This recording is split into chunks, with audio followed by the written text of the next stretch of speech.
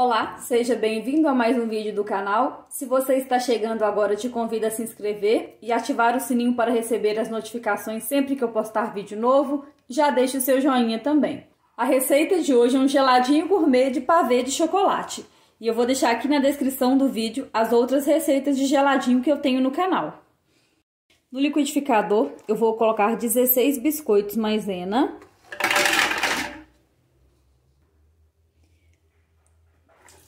um litro de leite.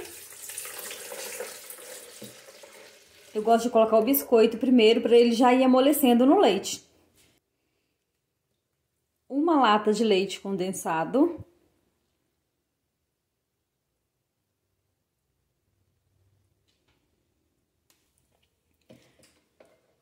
Uma caixinha de creme de leite.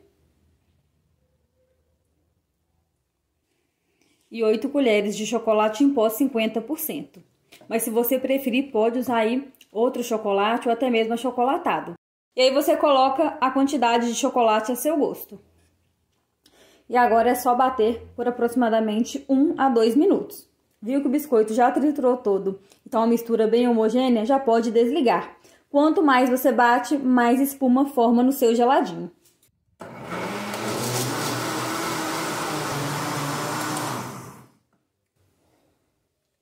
Agora vou deixar essa mistura de lado por um tempinho para essa espuma baixar. Se você preferir, pode tirar com a colher também. Já deixei separado alguns saquinhos de geladinho. Coloquei aqui um biscoito maisena em cada e agora eu vou começar a encher.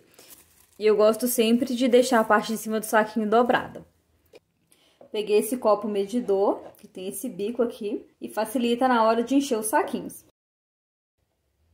Vou colocar um pouquinho aqui.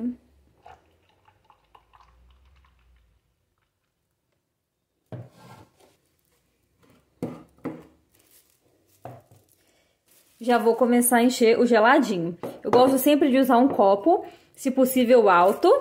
Coloco o saquinho aqui dentro. E o funil. Já deixe aqui nos comentários por qual nome você conhece essa delícia. Eu sei que esse geladinho também é chamado de din-din, sacolé, geladão, chup-chup, tem vários outros nomes aí.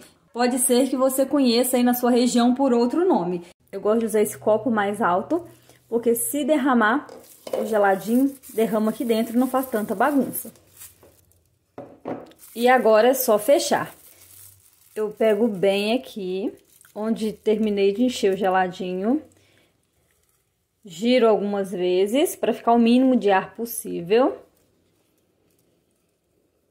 E agora é só fechar.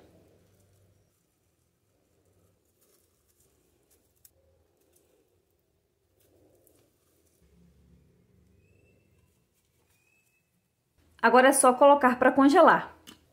E os geladinhos já ficaram prontos, renderam 14. Eu espero que vocês tenham gostado. Se gostarem, já curtam e compartilhem o vídeo. Um grande abraço, fiquem com Deus e até mais!